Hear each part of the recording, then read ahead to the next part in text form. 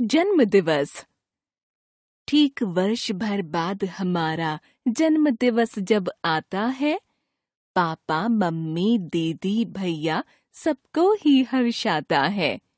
Cake काटता खुशी खुशी में सभी दोस्त घर आते हैं। जमकर होती धमा चौकड़ी जी भर धूम मचाते हैं।